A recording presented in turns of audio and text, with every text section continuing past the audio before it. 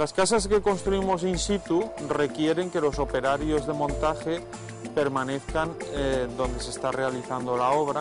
Nuevamente son casas que se ejecutan con proyecto de arquitectura y son plazos de construcción más largos que una casa modular, pero si lo comparamos con una casa de construcción tradicional, desde luego es mucho más breve.